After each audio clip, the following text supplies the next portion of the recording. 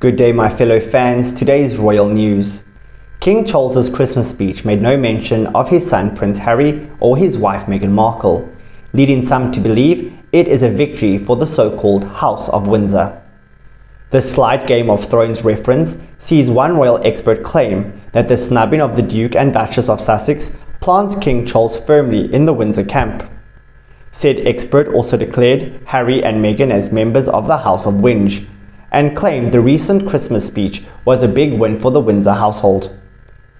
The to the point speech was praised by Michael Cole, who spoke of Charles's Christmas message and its implications.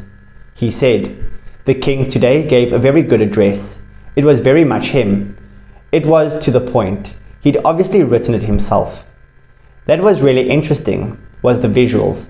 We saw a name check for the Prince and Princess of Wales, we saw on film the Earl and Countess of Wessex, Edward and Sophie, and we saw the Princess Royal, Princess Anne. What we didn't see was the Duke and Duchess of Sussex on their hilltop fortress in California.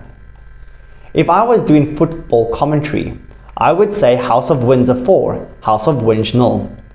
Cole also noted the lack of hilltop fortress mention, as did another expert. King Charles was noted to have deliberately left out any mention of Harry and Meghan in his speech. Expert Simon McCoy claimed that King Charles was focusing on the future of the family and alleged that it would make little sense to feature Harry and Meghan in his speech. It comes as Warring Fractions continue on from the bombshell release of the Sussexes Netflix documentary feature, with noting that King Charles may have totally outplayed the royal pair. Hmm, interesting. Okay guys, royal news done and dusted for today. Please like, comment and subscribe for more. Goodbye for now.